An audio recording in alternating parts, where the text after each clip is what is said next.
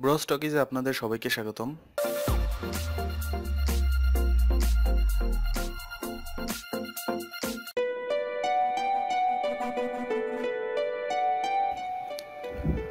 আমাদের আজকের টপিক, বাংলাদেশ বনাম শ্রীলঙ্কার ঐতিহাসিক শততম টেস্ট।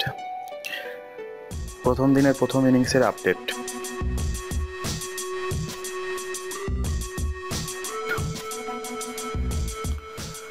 শুরুতেই টসে জিতে শ্রীলঙ্কা ব্যাটিংয়ের সিদ্ধান্ত নেয়। দলীয় তেরো রানের মাথায় প্রথম আঘাত হানেন মোস্তাফিজুর রহমান। এরপরে চব্বিশ রানে কুশালকে আউট করেন মেহেদি হাসান মিরাজ।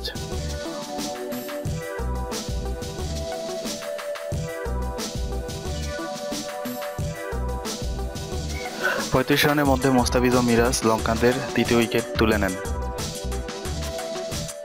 এরপর দলীয় সত্তর রানের মাথায় গুণারাত্নাকে এলবিডব্লিউ এর ফাঁদে ফেলেন সুভাশিস রয়। পরের শিকারটা তাইজুলের ব্যাটসম্যান এক্ষেত্রে ধনঞ্জয় ডি সিলভা। এরপর লঙ্কান শিবিরে সাকিবের হানা। তুলে নেন নিরোশান ডিকোয়ালার উইকেট।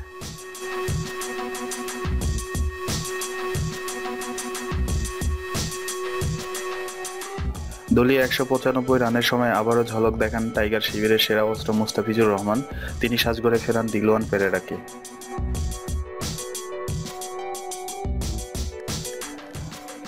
উইকেটের অপর প্রান্তে তখন থিতু হয়ে থাকেন দীনেশ চান্দিমাল।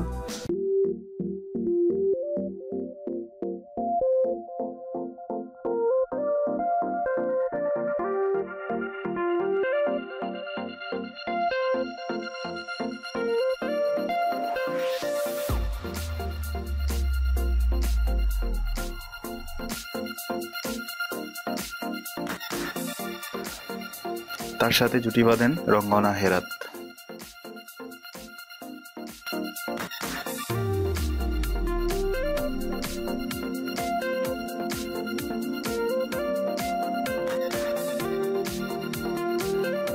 রঙ্গনা হেরাত ও চান্দিমাল মিলে দিন শেষ করেন।